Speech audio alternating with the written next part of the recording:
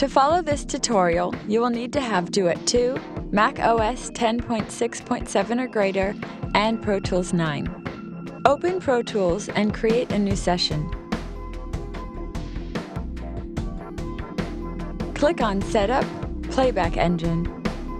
Set the buffer to 128. For lower latency, you can set it to 64, but you may need to adjust the buffer higher depending on the size of the project you're working on.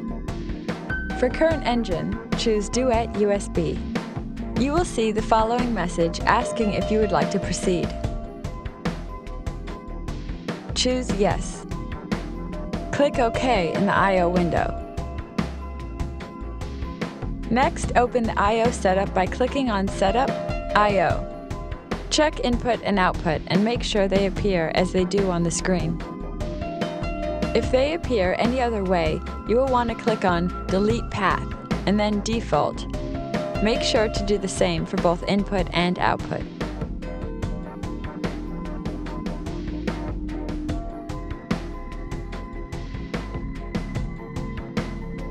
Open Maestro 2 found in the Applications folder. Select Input. Here you can select from the different Duet input choices. Plus 4 and minus 10 bypass Duet's mic preamp and are a direct line level connection to the A to D converter. Mic is for connecting a dynamic or ribbon mic to Duet's XLR breakout cable. If you are connecting a condenser mic, you will need to click on the 48 button to turn phantom power on. Instrument is for connecting a guitar or bass to the quarter inch instrument input. Now click on Output. In the Output section, you can select how you want to route Duet's four outputs, assigning them to the main or headphone outputs.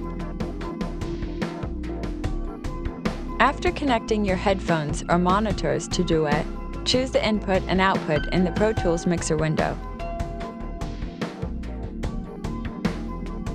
Click on the Record Enable button. Adjust your input level with Duet or in Maestro. You should now hear the input source you have plugged in. You are now ready to record.